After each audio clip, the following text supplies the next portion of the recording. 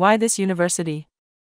Robert Morris University recognized as National Center of Academic Excellence in Cyber Defense Education by U.S. National Security Agency, NSA, and Department of Homeland Security speaks high in this cybersecurity program from this university and this cybersecurity program comes on 8th position in US by Fortune website.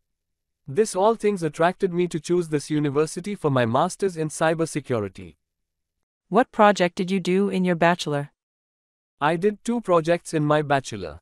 First one is home automation project means smart home and second one is smart stethoscope. Explain project briefly. So home automation project is like smart home through Wi-Fi technology if I press on button on my mobile phone application then it will turn on light. So basically I can control lights, fan and many things through my phone and second one is smart stethoscope. It measures our pulse and oxygen level. So in a early stage of corona I made that. What's your CGPA? In my bachelor I scored 7.33 on a scale of 10 and in my postgraduate diploma I scored 7.13 on a scale of 10. What exactly is postgraduate diploma? Is it master or certification course? A postgraduate diploma is considered academically over the level of a bachelor's, but under a master's level. Who's going to sponsor you? My father going sponsor my study in USA. What sponsor doing?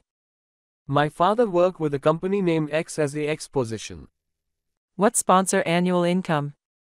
My father annual income is X lakhs and has spared X lakhs from his savings and I took an education loan of X lakhs from HDFC Credila.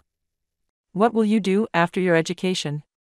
After completion of my studies I would attend one year of internship which is the integral part of US education system which will provide practical knowledge about penetration testing and then I would come back to India and erect my career at Bangalore which is considered as IT hub of India.